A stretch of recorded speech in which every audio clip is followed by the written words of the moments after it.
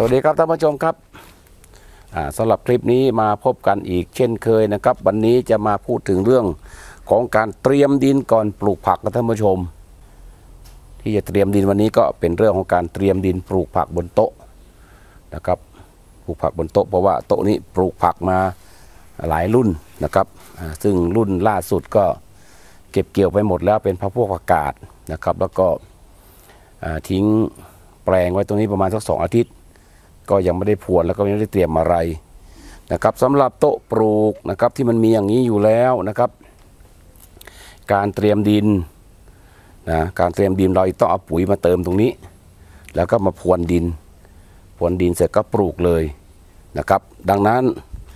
ปุ๋ยอะไรต่างๆนะครับ มันจะต้องผ่านกระบวนการหมักเนาะผ่านกระบวนการหมักออกมาก่อน ถ้าเราไปใช้พวกขี้วัวแห้งอะไรต่างๆ มันก็จะมีปัญหา ในเรื่องของผักที่เราจะปลูกนะใส่ไปเยอะๆ แล้วก็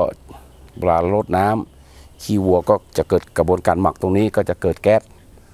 แล้วก็จะทำให้รากของพืชเราเสียหายนะรากมันเน่ารากมันแห้งรากมันตาย แล้วก็ใบมันก็จะเหลือง มันจะไม่โตดังนั้นปุ๋ยต่างๆที่เราจะใช้อาจจะเป็นมูลอะไรก็แล้วแต่ ก็ควรที่จะผ่านกระบวนการหมักออกมาก่อนท่านผู้ชม เวลาเรามาใช้ปุ๊บเนี่ย เราจะลดน้ำผักอะไรต่างๆเนี่ยปุ๋ยที่เรามาใช้เนี่ยมันจะไม่เกิดกระบวนการหมักแล้ว มันจะไม่มีความร้อนนะพืชก็สามารถที่จะดูดเอาสารอาหารไปใช้ได้เลยนะครับอ่าสำหรับโต๊ะปลูกตรงนี้นะครับ มันจะมีพื้นที่ความยาวอยู่ 3 เมตร กว้าง 1 เมตรนะครับ3เมตรผมก็จะลองแบ่งเอาไว้เป็น 3 ส่วนเนาะแบ่งกันเป็น 3 ส่วนนะครับ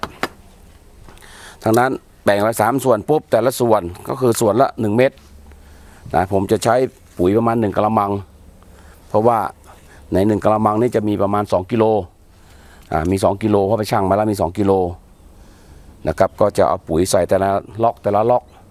ในในในแต่ละตารางตารางละ 2กิโล2กิโลนะครับก็จะใส่แบบนี้ท่านผู้ชมนะได้ปุ๋ยมาก็ใส่งี้ก่อนนะโดยประมาณนะท่านผู้ชมจะใส่กิโล โดยมาตรฐานก็ประมาณ 1กิโลแต่ว่าถ้า 2กิโลเนี่ยอ่า ดินที่เราปลูกเนี่ยเราก็อาจจะปลูกมานานนะปลูกผักมาหลายรุ่นนะอาจจะใช้สักกิโลถ้าปุ๋ยเรามีไม่เยอะก็ใช้กิโลเดียวนะถ้าเป็นพื้นที่ดินที่เราปลูกมานานก็ใช้สักสองกิโลนะครับ อันนี้หนึ่งตารางเมตรนะครับ พอเราใส่ปุ๋ยอะไรเสร็จตรงนี้ เราก็พรวนดินพรวนดินบริเวณนี้ก่อนนะครับพรวนดินให้ ปุ๋ยกับดินเดิม มันได้แทรกเข้าไปอยู่ในดินนะครับ แทรกเข้าไปอยู่ดินอย่างนี้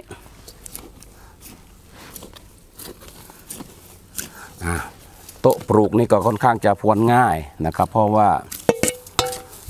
ใต้โต๊ะปลูกของผมมันมีไส้เดือนอยู่ บางส่วนไส้เดือนก็จะช่วยพรวนนะตอนนี้เรามาพรวนด้านบน ให้มันปุ๋ยกับดินมันได้แทรกเข้าหากันนะครับ แทรกเข้าหากัน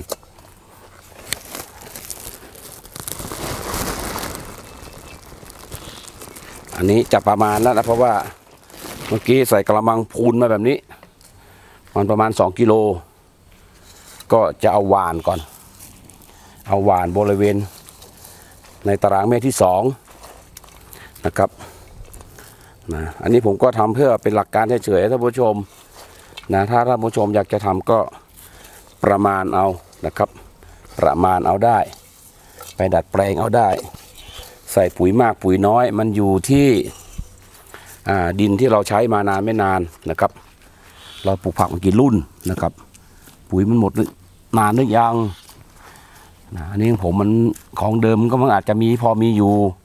แต่เราก็เติมลงไปเพิ่มเติมลงไป เราก็พรวนแบบนี้ครับท่านผู้ชม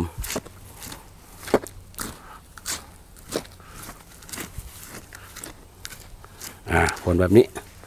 วกปุ๋ยพวกอะไรต่างๆ มันก็จะผสมไปในดินนะผสมไปกับดินเนาะผสมไปกับดิน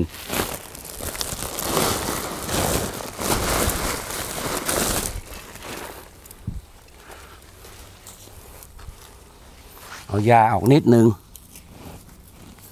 ยาก็จะขึ้นนะท่านผู้ชม ก็ประมาณเนี้ยท่านผู้ชมเนี่ยนะครับนี่ตารางเมตรสุดท้าย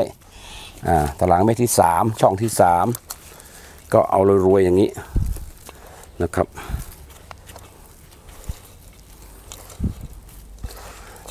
เตรียมดินดีๆนะครับ ปุ๋ยเราหมักดี ปุ๋ยเรามีตลอดนะปลูกผักอะไรก็งามท่านผู้ชมนะครับ ปลูกผักอะไรก็งามนะปลูกผักงามมันก็เป็นผลผลิตเนาะมันก็มีเกิดความภูมิใจว่าผล งานหรือฝีมือในการปลูกผักของเราอุ้ยผักงามนะครับเราเตรียมดินดีมีปุ๋ยดี เราไม่จำเป็นต้องเติมปุ๋ยอะไรบ่อยท่านผู้ชม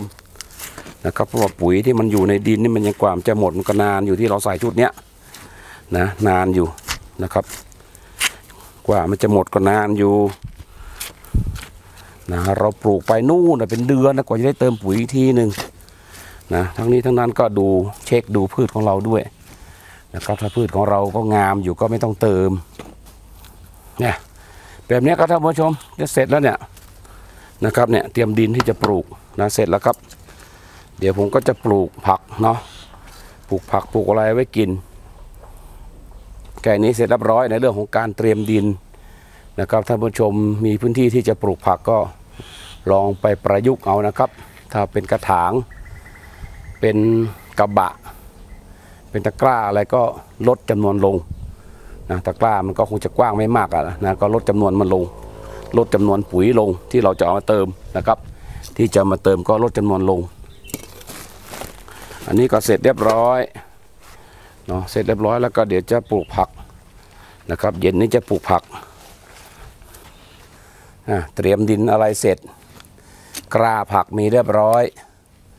นะครับ วันนี้ก็จะปลูกผักกาดห้องเต้เหมือนเดิม เนาะผักกาดนี่มันกินได้อร่อยนะครับ กินได้อร่อยนะมัน